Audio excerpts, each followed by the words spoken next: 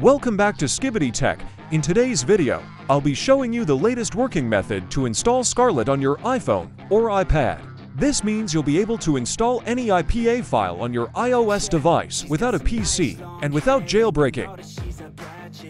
Best of all, this method works on iOS 16, iOS 17, and even iOS 18. So no matter which version you're on, you're good to go. If you're tired of revoked apps and complicated methods, this is the ultimate guide for you. Let's get started.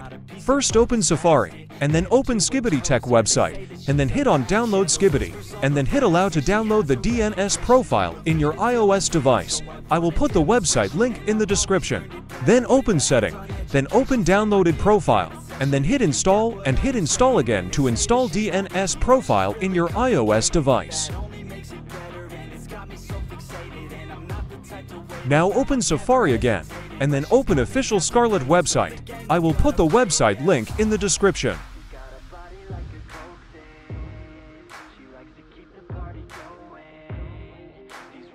Then scroll down, and then hit on Install. It will open new page. Now simply hit on Direct Install, and then hit Open, and then hit Install to install Scarlet in your iOS device.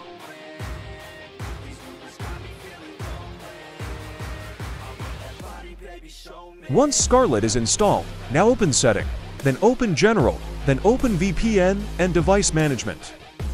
Then open Enterprise app, then hit Trust, and then hit Allow and restart to let Scarlet work in your iPhone or iPad. After restart, now you will see Scarlet app will start working properly without any problem. Now simply download the IPA file you want to install in your iOS device. Then simply open Scarlet and then hit arrow down button. Then simply select your IPA file.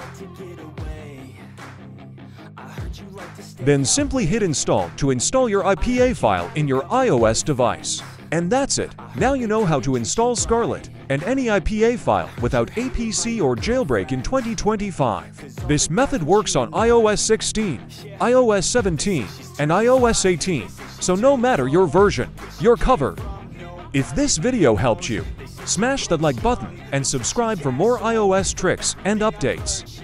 Also, drop a comment if you have any questions. Thanks for watching, and I'll see you in the next one.